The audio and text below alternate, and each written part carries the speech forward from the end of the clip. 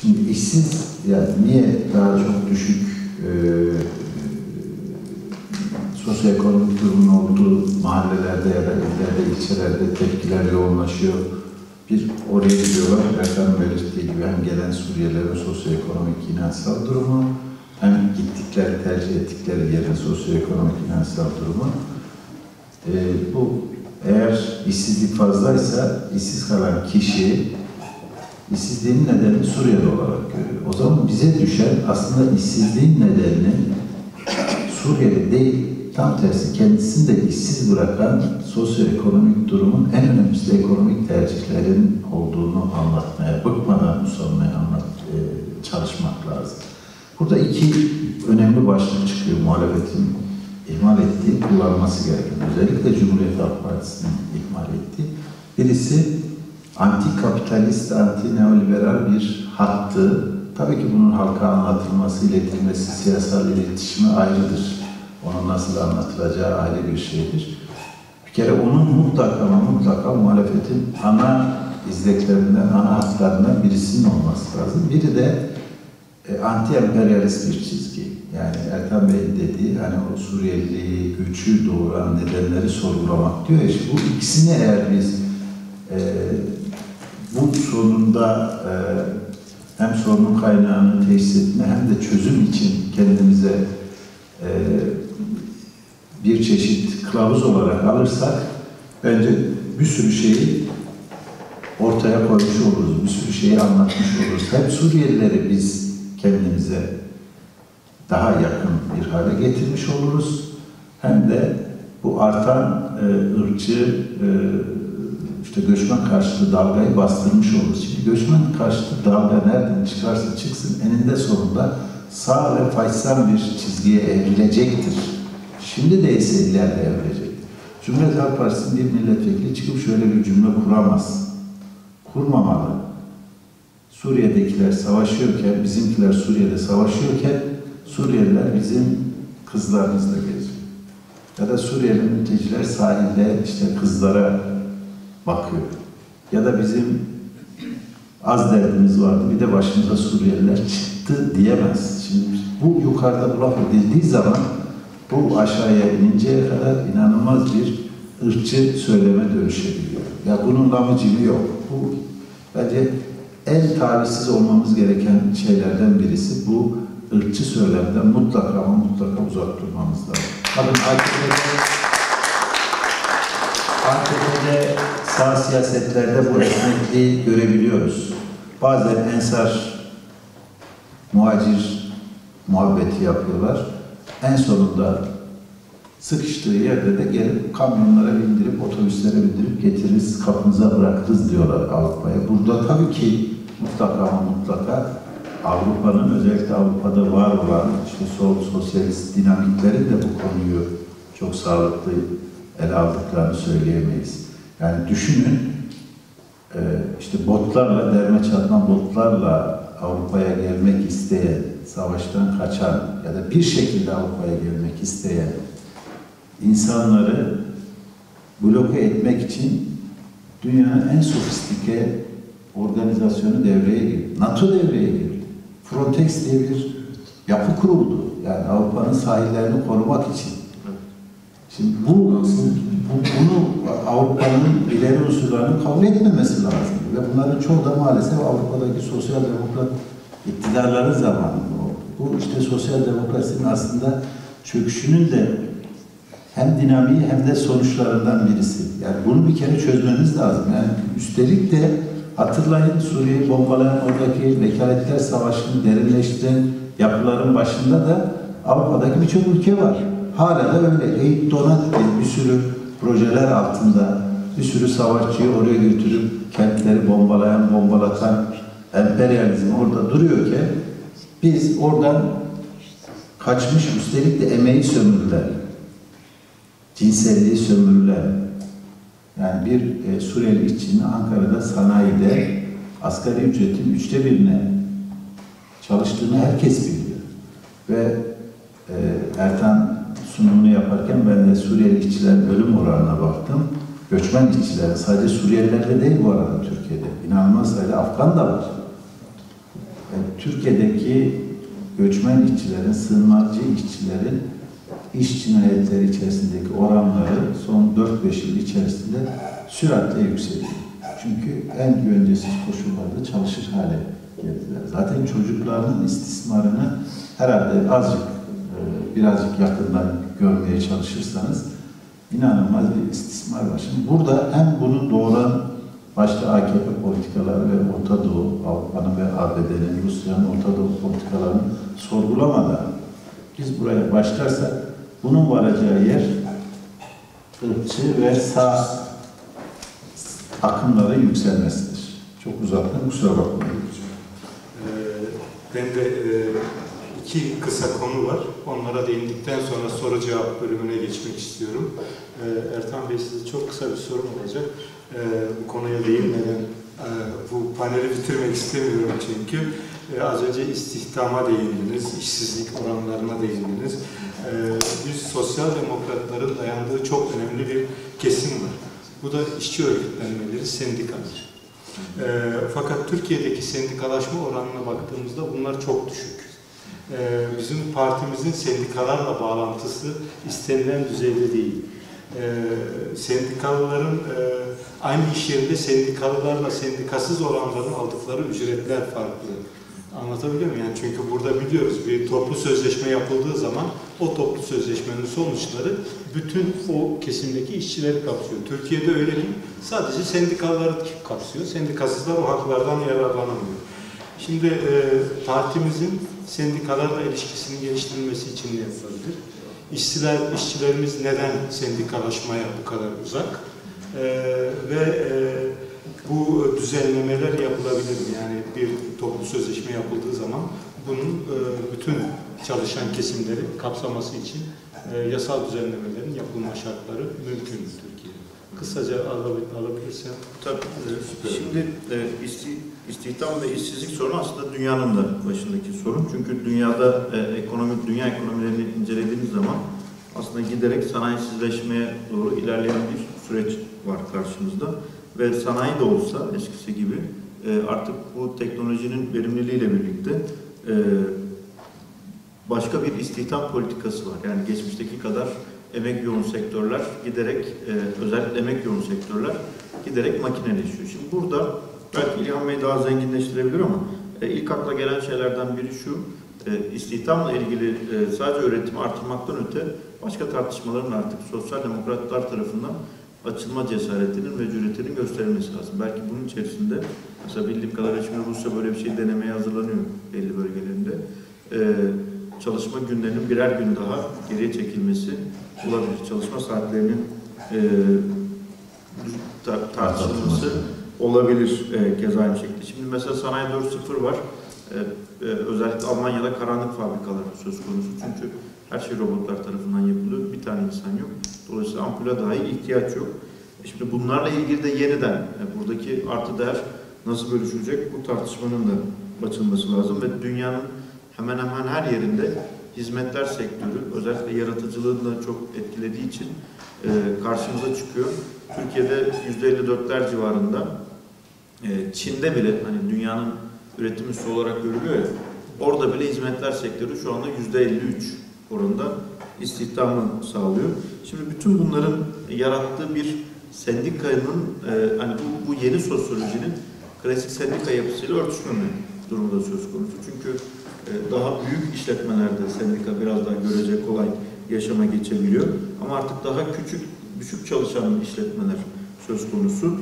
E, bu, bu bunların yarattığı sorunlar var. Bir diğer taraftan da sendikalar yeni emek sınıfına dair bence biraz öz eleştiri yapması lazım. Çok ilgilendiği bir şey yok. Yani özellikle Türkiye sendikaları için ben çok fazla e, yani bireysel olarak hani kurumu da katmayayım işin içine. E, çok fazla eleştirdiğim yerleri var. Ben mesela gençlik kollarına siyasete başladığımda hep şu söylenildi bizim partide. Biz sendikalarla yeterince işbirliği yapmıyoruz. E, Eğer sendikalarla işbirliği yapsak partiyi çok rahatlıkla iktidara getirebiliriz. Ben de bir heyecanla baktım. Sendikalın şeyi kaç diye, e, Türkiye'de toplam sendikalı sayısı kaç diye. 900 bin çıkmıştı. Sonra döndüm partinin üye sayısına baktım 1.2 milyon çıktı.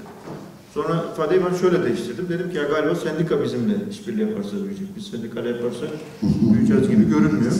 Dolayısıyla sendikaların da bu yeni emek sınıfına dahil, ister adına prekariat deyin, ister beyaz yakalı çalışanlar deyin, yepyeni çalışmalar yapması lazım. Çünkü artık emek sömürüsü sadece eski ezberlerde olan bir şey değil. Bugün Türkiye'de birçok lisans mezunu genç LCV2 mağazalarında kazak katlayarak, üniversite mezunu insanlar olarak kazak katlayarak kariyer yaptığına inandırılıyor.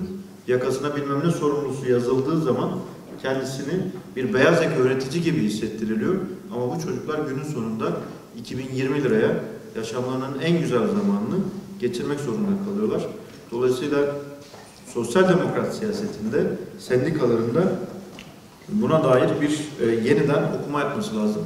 Yine şey olacak ama bizim SODEV'deki bu önümüzdeki yıllardaki hatta yıl da demeyeyim belki yetiştirebilirsek sene sonunda yapamazsak da öbür senenin başına yeni emek sınıfı üzerine de yine bir e, araştırma e, raporu planlıyoruz. E, işçiler neden sendikaya uzak bir de diğer taraftan da şu da var. Maalesef yani Türkiye için bunu çok söyleyebiliriz. E, dünyada da iddia edebiliriz. Bence işçiler e, sınıf bilincini artık yok denecek kadar şey e, sahip değiller.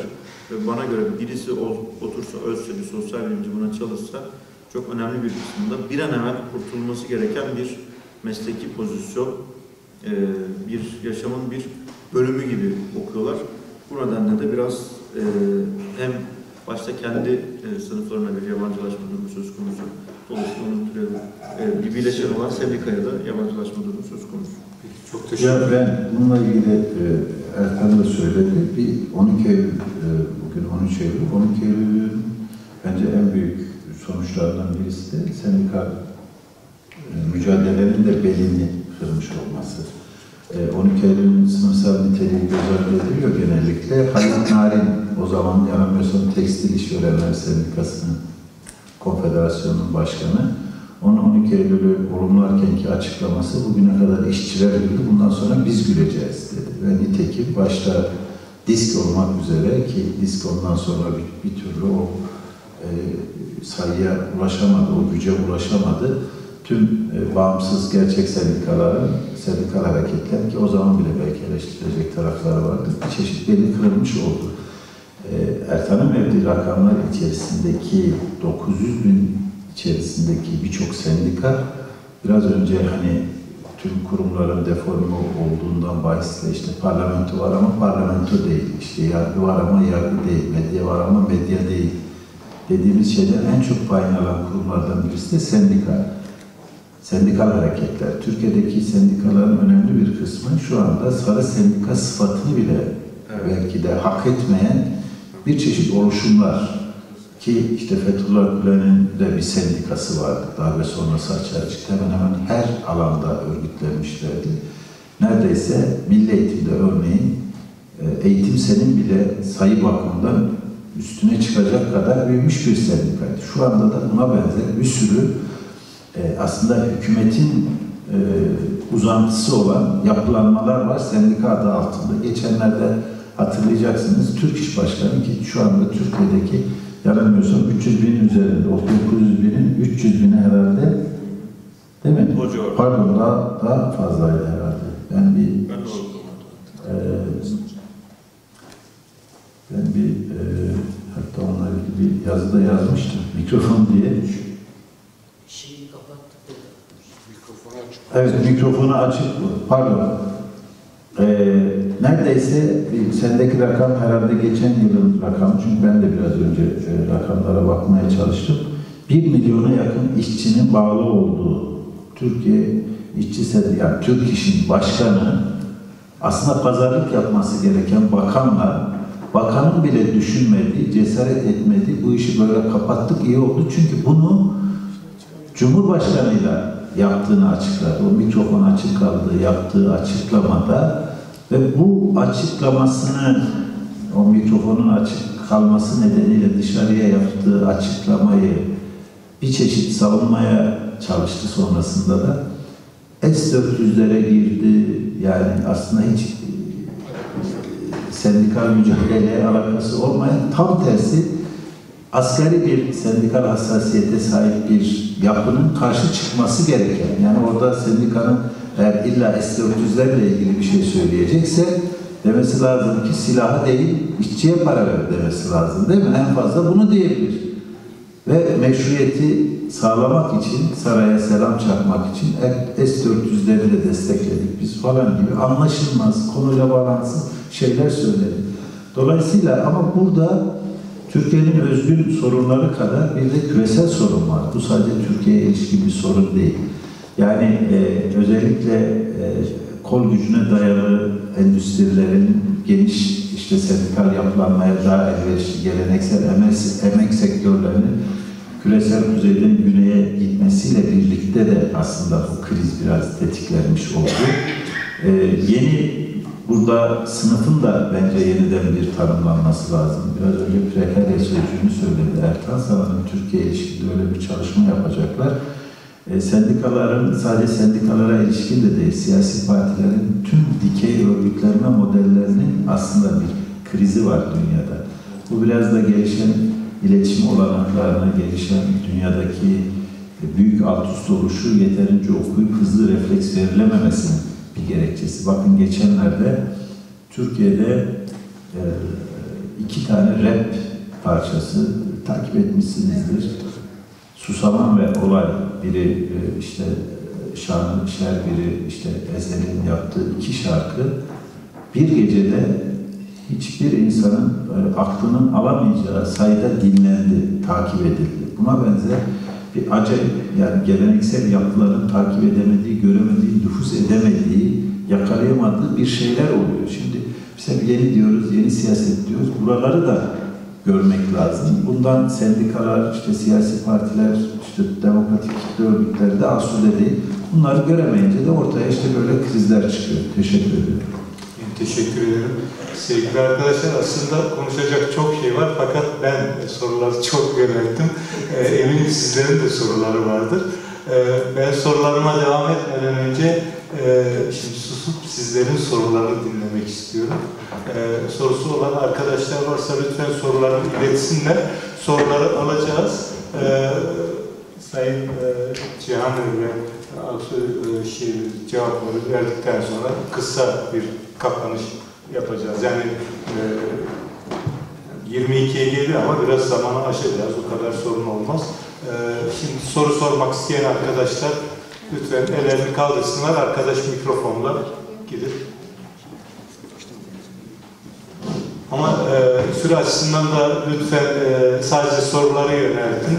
E, yani uzun bir konferansı daha çok devam ettirme şeyle bir monolog olmasın. Öncelikle hoş geldiniz Erol Güçlü. Ülkemizin içinde bulunduğu durum çöküş. Yani bir yok oluşa gidiyoruz. Bu da çok iyi bir şekilde gerek sayılarla gerek verdiğimiz bilgilerle açıklandı ve ortada. Acaba çözüm gerek Cumhuriyet Halk Partisi'nin gerekse Türkiye Cumhuriyeti'nin kuruluş felsefesine geri dönmesi, fabrika ayarlarına dönmesi olabilir. Teşekkür ederim.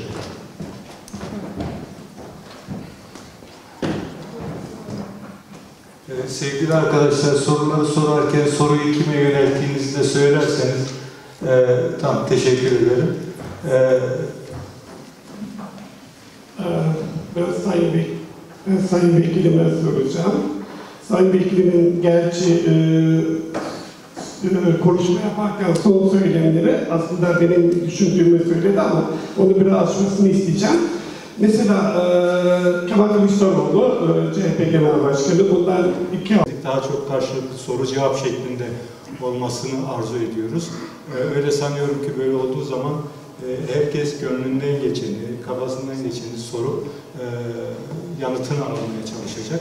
Bizlerin de hazırladığı bazı konular var. O doğrultuda e, panelimizi saat 22 gibi sonlandırmayı düşünüyoruz.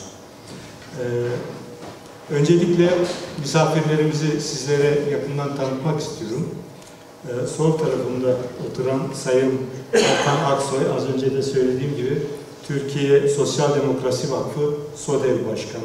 Kendisi 1984 yılında Erzincan'da doğdu. İlk orta öğrenimi İstanbul'da, yüksek öğreniminde Uludağ Üniversitesi İktisat Bölümünde tamamladı.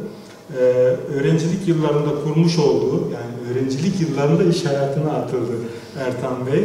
O dönemde kurmuş olduğu Aksoy Pazar ve Kamuoyu Araştırma Şirketi, Türkiye'nin saygın kuruluşları arasında yer almakta.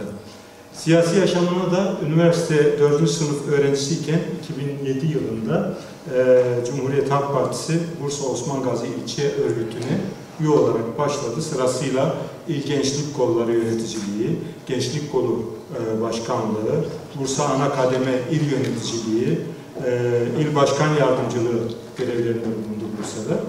E, 2012'de aktif siyasete ara verip sivil toplum örgütlerinde çeşitli görevler aldı. Uluslar, ulusal ve uluslararası birçok dergide siyaset ve dış politika konularında makaleleri, yazıları yayınlanmakta. Ee, az önce söylediğim gibi sivil toplum e, kuruluşlarındaki çalışmalarını bir adım daha öne götürerek siyasi kimliğine de uyan şekilde 2015-2017 yılları arasında SODEV Genel Sekreterliği görevini üstlendi. Ee, daha sonra e, ek olarak da sosyal demokrasi e, de sosyal demokrat siyaset ve seçmen davranışları alanında da iki kitabın yazarları arasında yer aldı. Ee, 2018 yılının Haziran ayında yapılan genel seçimlerde İstanbul e, 1. Bölge Milletvekili adayı da olmuştu kendileri.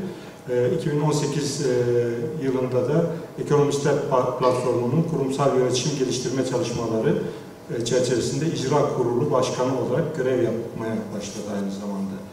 E, Kendisini tekrar selamlıyorum. SODEV Başkanımız Ertan Aksu'ya hoş geldiniz. Hoş bulduk, teşekkür ederim. Ee, sağ yanında oturan İlhan Bey'i tanıtmaya gerek var mı? Bilmiyorum. Bence de yok. ben ana hatlarıyla ana hatlarıyla e, İlhan Bey ile ilgili size birkaç e, paragraf, birkaç satır bilgi vermek istiyorum. E, kendisi 68 yılında Kars'ta dünyaya geldi. Bunlar biyografik e, bilgiler.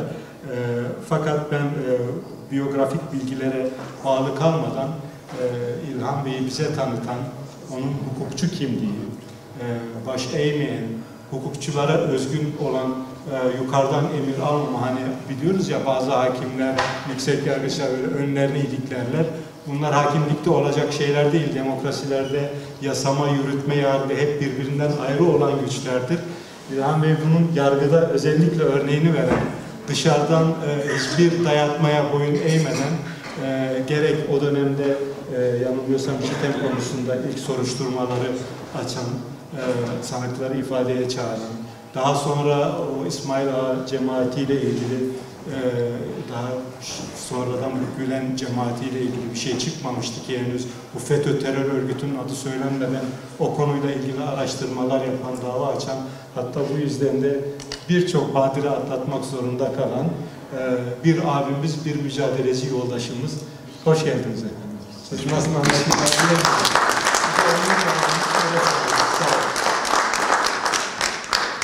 Ee, Panelimizi e, ilk olarak dediğim gibi e, iki sunum şeklinde gerçekleştirmeyi düşünüyoruz.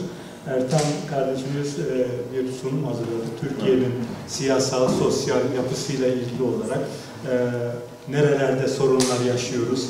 E, bunları e, bizlere iletirseniz çok memnun oluruz. Buyurun.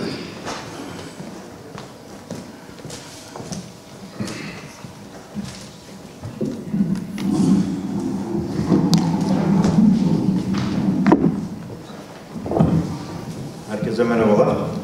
Şimdi panele başlamadan önce bir kürsüye su rica edeyim. Çünkü birazdan göstereceğim rakamlar insanın ağzını kurutuyor.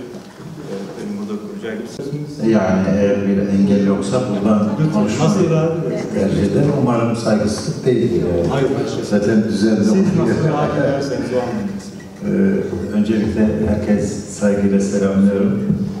Ee, güzel bir gün dışarıda böyle e, kendi payıma söyledim. Çünkü ben Erkan'ı çok dikkatle dinledim, izledim. Hatta o kadar ki e, hazırladığım konuşma metnini hiç kullanmamayı düşünüyorum. Ee, böyle bir sıkıcı olacak konuşmayı dinlemek için zaman ayırdığınız için çok teşekkür ediyorum.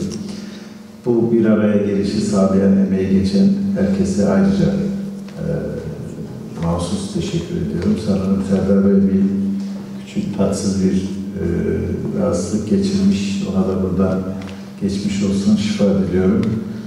Son olarak da e, galiba 29 Eylül'deydi değil mi seçimler Avusturya'da? Evet, o seçimlerde de e, yarışan e, tüm yoldaşlarımıza başarı diliyorum. E, tabii Ertan Bey'in sunumunda dikkat çeken bir şey vardı. Yani o grafikler Türkiye söz konusu olduğu zaman hep e, adeta çıldırmış gibi çok farklı ana akımın dışına çıkıyordu. E, bu, bunun aslında bize bir şey gösteriyor olması lazım. Yani konumuzun başlığıyla da ilgili. Çok uzatmayacağım. Ben daha çok soru cevap kısmını önemliyorum. E, madem ki bu kadar e, ana akımdan ya da normalden, ortalamadan ayrılan bir e, durum varsa Türkiye'de, madem ki muhalefetin, muhalefetin olanaklarını konuşuyoruz, o zaman muhalefetin de böyle davranması lazım. Bir kere e, bu, bu bize bir şey gösteriyor. Madem ki olağanüstü bir tırnak içerisinde durum yaşıyoruz, olağanüstü bir süreçten geçiyoruz, o zaman muhalefetin de e, enstrümanlarını, taktiklerini, stratejilerini bu olağanüstülük üzerine kurması lazım. Ben her şeyin e, acımasız bir şekilde eleştirilmesiyle doğruyu, en optimum çözümü bulunabileceğini düşünüyorum. Burada muhalefet üzerine konuşuyorsak bir kere muhalefetin de e, eleştirisiyle başlamamız lazım bence işe. E, ama şöyle bir sorunumuz var. Muhalefet derken neyi kastediyoruz Türkiye'de? Buradan başlayalım. Bir kere muhalefet dediğimizde e, Türkiye'deki AKP'nin ve MHP'nin dışındaki neredeyse tüm siyasi akımları aynı muhalefet torbasının içerisine atıyoruz. Ben bunun çok doğru bir e, yaklaşım olmadığını, hatta giderek belki de önümüzdeki süreçte en büyük sorunlarımızdan biri olacağını düşünüyorum. Burada çok dikkatli olunması gerekir. Yani AKP ve Erdoğan karşıtlığına indirgenmiş, kuşkusuz baş gereken ve ana rakip olarak orada duruyor. Ama eğer tüm muhalefeti bir bütün gibi ele alırsak, e, belki de tam tersi e, muhalefetin potansiyel gücünün de maksimize olmasına e, engel olmuş olacağız. Bunu çok büyük bir risk olarak görüyorum. Bunu aslında gördük de yani bu kadar farklı istatistiklerde seçmen davranışını radikal bir şekilde değiştirmesi gereken bir tabloyla karşı karşıyasak çünkü eğer istatistik bir bilimse oradan çıkan verilere inanıyorsak o zaman bunu bir şekilde açıklamamız lazım. Demek ki bir başka bir şey daha var. İşte burada ben e, bu sorunu yol, soruna yol açan etkenlerden birisinin ve önümüzdeki dönemde de derinleşerek muhalefetin potansiyelini azaltacak etkenlerden birisinin tüm AKP karşıtlarının aynı pota içerisinde erime, eritme çabası olduğunu düşünüyorum. Bu bize şöyle bir risk, şöyle bir tehdit açıyor. Bakın bugünlerde yeniden e, Abdullah Gül, Babacan ve e, Davutoğlu isimlerinin parlatılmaya, parlamaya başladığını görüyoruz. O kadar ki sırf o karşıtlık yüzünden sanki oradan bir umut gelecekmiş gibi bakılmaya başlandı. Şimdi eğer bu yaklaşım, muhalefetin bu algısı devam ederse, toplumdaki böyle bir muhalefet algısı devam ederse, onların da muhalefet cephesinde algılanmaya başlanması gibi bir sorunla karşı karşıya kalacağız. Ve burada da çok daha esnek oldukları için, çok daha tırnak içerisinde söylüyorum, uyanık oldukları için muhtemeldir ki bizim potansiyel geleceğimizi, belki de potansiyel devrimizi çalma gibi bir e, olanağa bile sahip olabilecektir. Bir kere muhalefeti değerlendirirken ileri ileride bir toplumu arzulayan, onun için mücadele eden insanları kastettiğimizi söylememiz lazım ve bunu da bu anlamda kullanmamız lazım. Genellikle de parlamento içi ve işte bilinen ana siyasi partiler, siyasi hareketler değerlendiriliyor. Ama o muhalefetin içerisine demokratik kitle örgütlerini yıllardır boyun eğmeyen bir sürü iri bir ufaklı e, parlamento dışı partiyi, hareketi, dergi çevresinde dahil etmek gerekir. Ben muhalefeti bu anlamda kullanıyorum. E, ve bu konuşma içerisinde söylerken de ağırlıklı olarak bu şekilde algılamanızı rica edeceğim. Tabi burada e, e, madem ki bu kadar normalden ayrılan olağanüstü bir iktidarla karşı karşıyayız, bu iktidarın krizlerine karşı da geleneksel muhalefetin geleneksel enstrümanlarıyla, yaklaşımlarıyla baş edemiyorsa bu krizler ne? Yani bu krizlerden en önemlisi bence bir kere bir rejim krizi olarak o başlıkta toplayabileceğimiz hayatın, devletin her alanını etkileyen bir krizle karşı karşıyayız. Bunların başında zaten e, hepimizin bildiği e, en somut yansımalarını e, Erkan Bey'in sunumunda gördüğümüz ekonomik krizi var.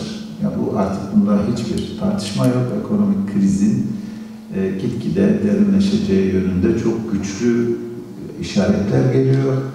E, bir kere böyle bir konuda e, siyaset ve muhalefet yapma çabası içerisindeyiz. Daha dün sanırım e, bir yurttaşımız Güven Park'ta e, tam da bu gerekçeyle kendisini yaktı. Bu sadece buna ilişkin bir e, yani sadece bir güne ilişkin bir olay.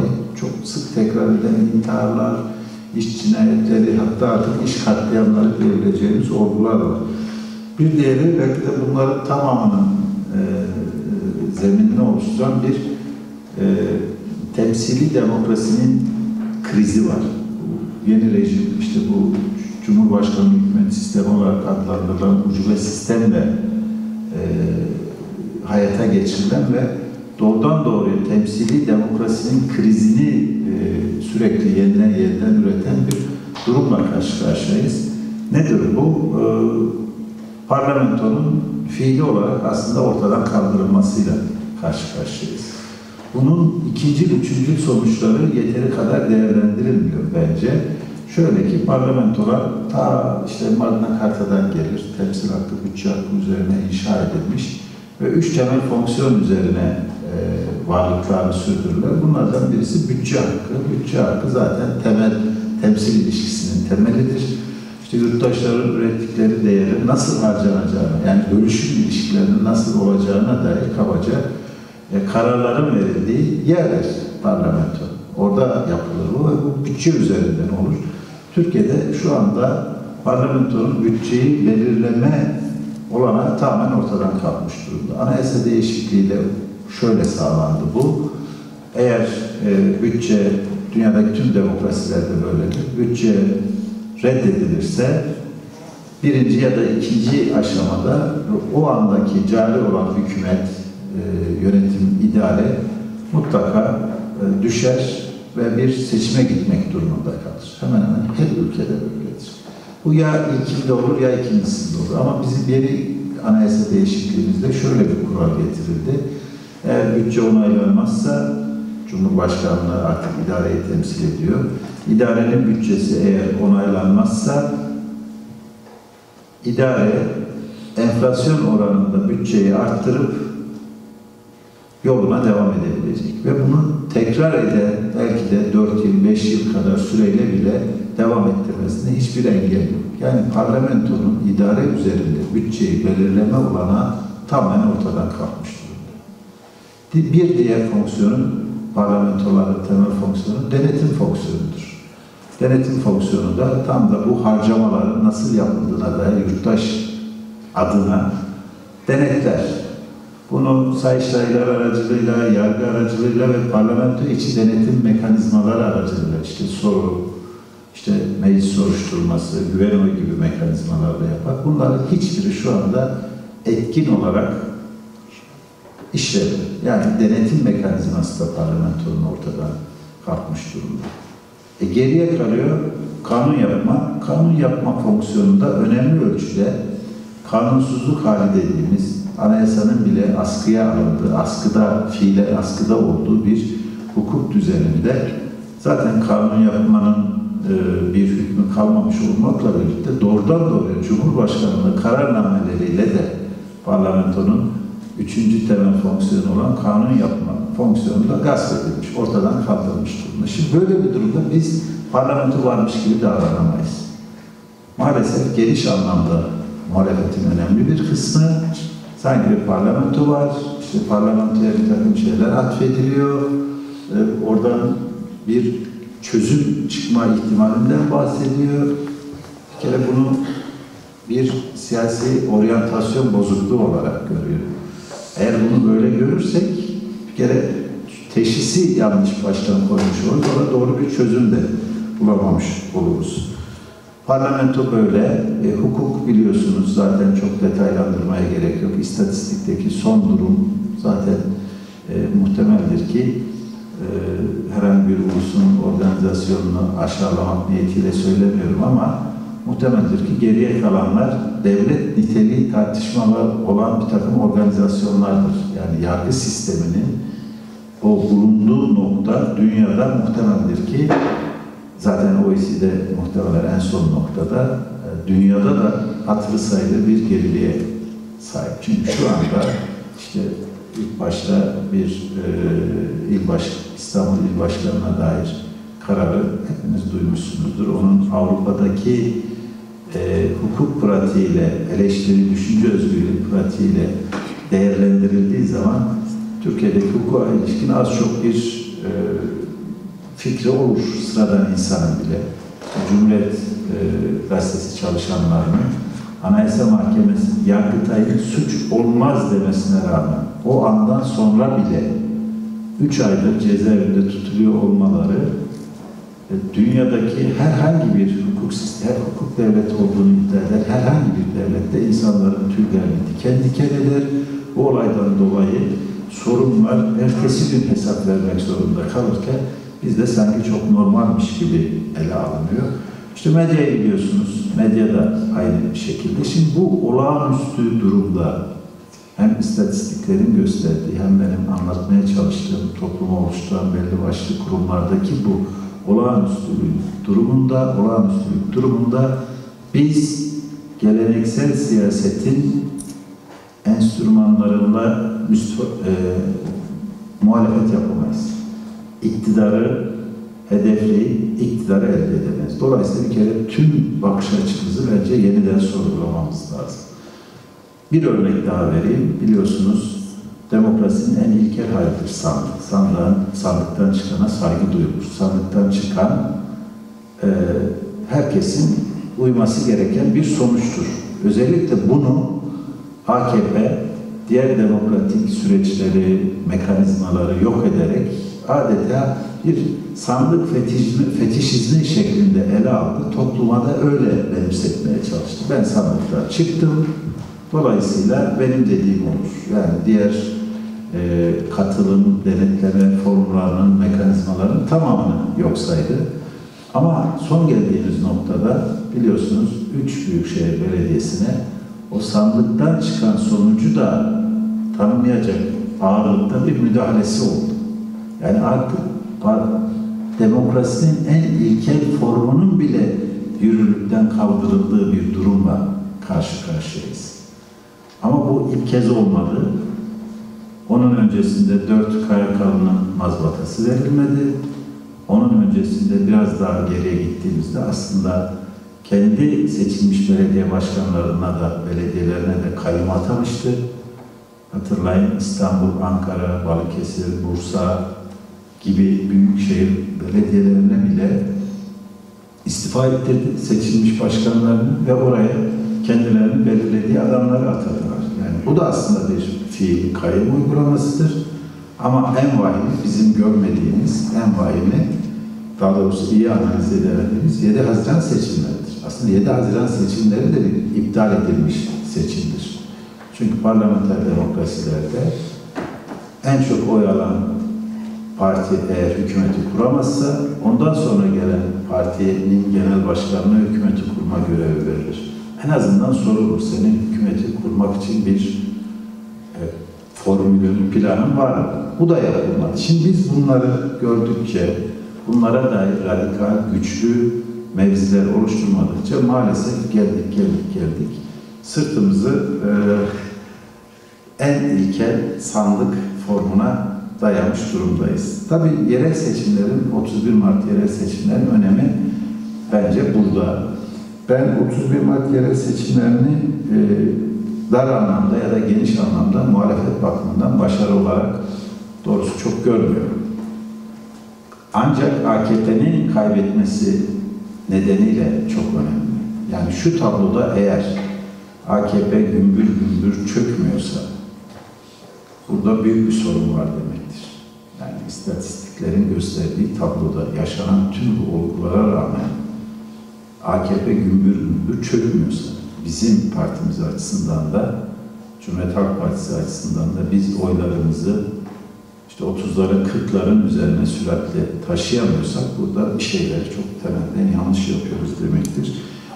Ee, 31 Mart'ın en önemli sonucu bence AKP'nin birçok yurttaşımızın zihninde artık bunlar yenilemez, bunlar demokratik yöntemlerle, koşullarla, mekanizmalarla gitmez algısının önemli ölçüde e, ortadan kalkmış olması. Fiilen öyle olmasa bile ortadan kalkmış olması. Çünkü öyle olmadığını nerede gördük? Diyarbakır, Mardin ve Van'da gördük.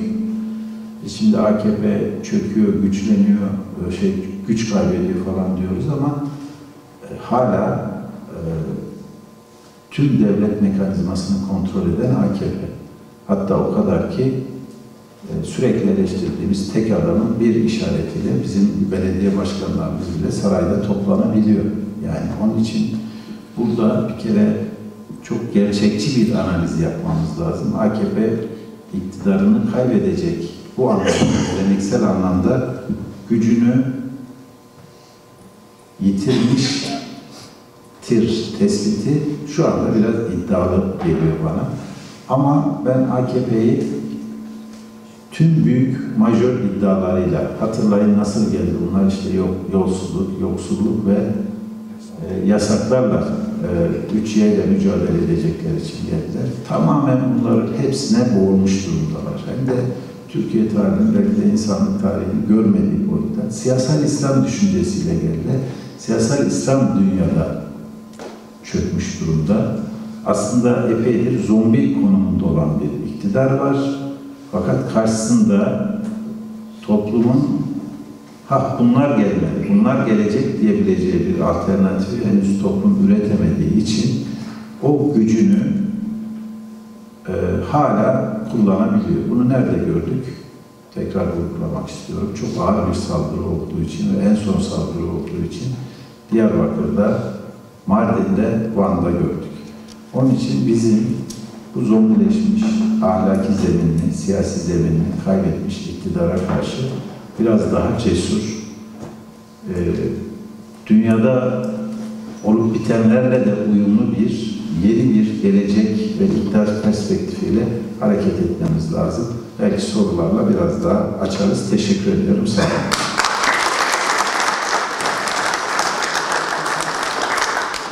Çok teşekkür ederim. Müdür Bey. Sağ olun.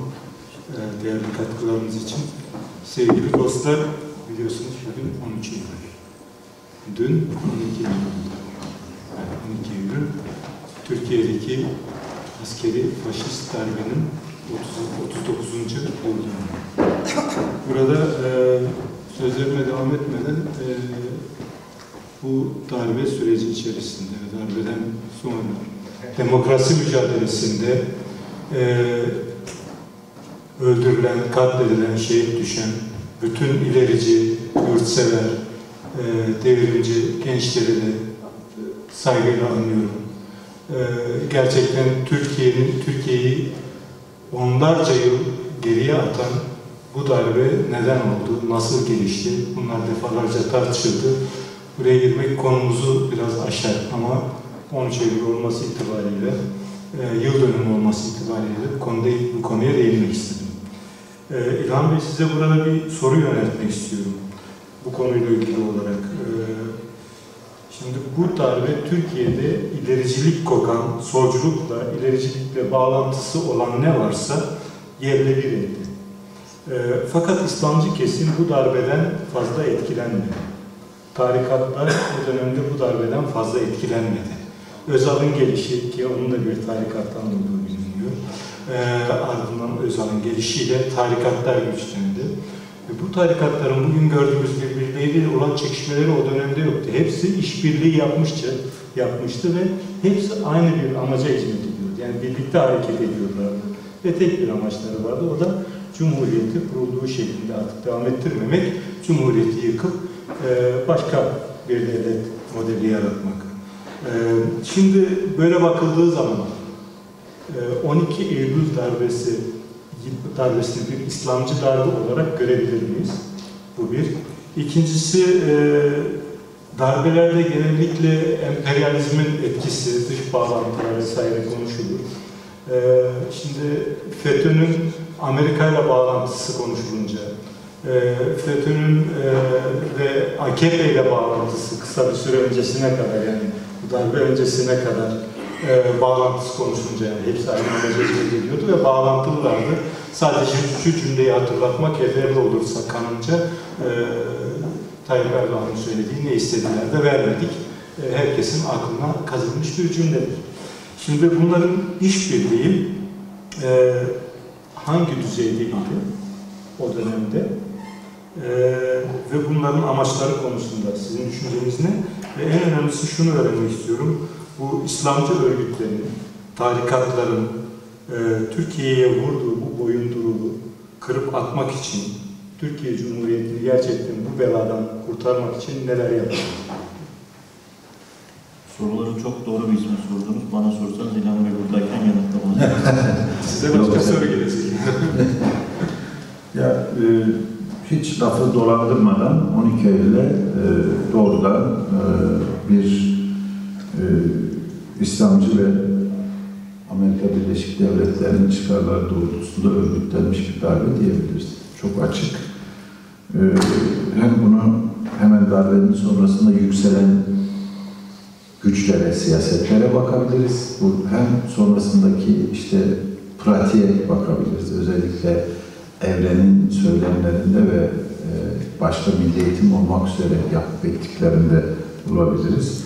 Zaten e, Fethullahçı yapılanmanın geçmiş örgütlenmesinin e, ne zaman yükseldiğini, onlara en çok alanın ne zaman açıldığını incelediğimiz zaman hemen 12 Eylül sonrasını görüyoruz. Asıl güçlendikleri ve kamuya yerleştikleri işte 15 Temmuz'da bu e, darbe e, sürecinde yer alanların çoğunun o dönem kamuya yerleştiğini görüyoruz. Bu anlamda lafı hiç çevirmeden özellikle Fethullahçı yapılanmaya açtığı yol bakımından e, tarikatlara, cemaatlere açtığı yol bakımından ve ABD'nin de zaten o dönem ta 1950'lerin ortasından itibaren e, Soğuk Savaş'ın bir e, mücadele yöntemi olarak kullandığı bu Yeşil Kuşak teorisinin bir uzantısı olan Komünizmle Mücadele Dernekleri artık bu klasikleşmiş bir tahlil.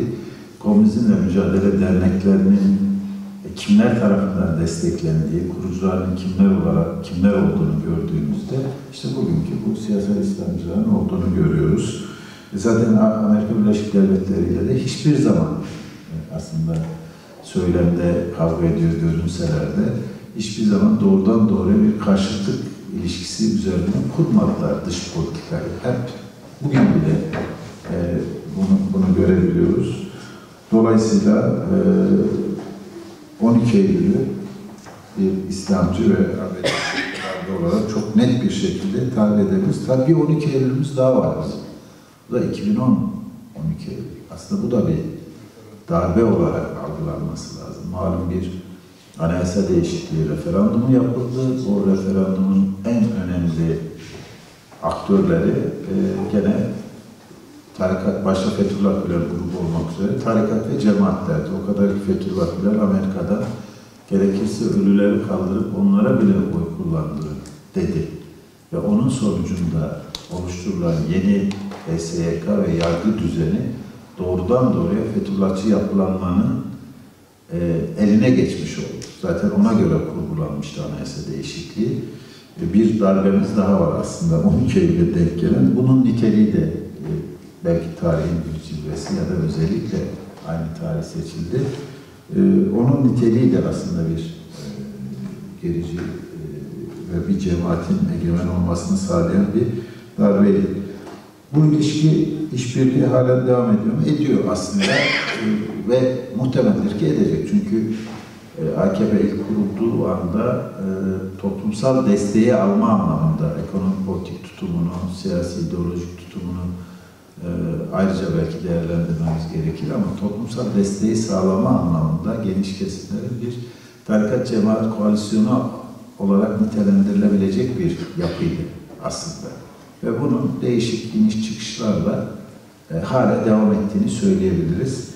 E, ne yapılmalı? Bir kere AKP'nin kurduğu ilişkideki sorunları teşhis edersek ne yapılmaması gerektiğini üzerinden bile bunu ku- kurabiliriz. AKP'nin tarikat ve cemaatlerle kurduğu ilişki kendisine destek verip vermeme, kendisinden olup olmama ilişkisi üzerinden olduğu için şimdiye kadar mücadele ettiğini iddia ettiği bu yapılarla bile e, başarılı bir mücadele ortaya koyamaması sonucunu doğuruyor. Bilmiyorum İsmail Saymaz'ın e, ve birkaç yazarın arka arkaya Türkiye'deki tarikat cemaatlerle ilgili çok böyle e, popüler kitapları oldu. Okuyanlar oldu mu ya da buralarda da e, yayıldı mı o kitaplar ama şimdi Fethullahçı yapılanmaya, Fethullah Gülen cemaatine ilişkin AKP'li entelektüellerin ve politikacıların ileri sürdükleri defo ne ise aslında şu anda Türkiye'de önü açılan cemaatlerin hepsinde var.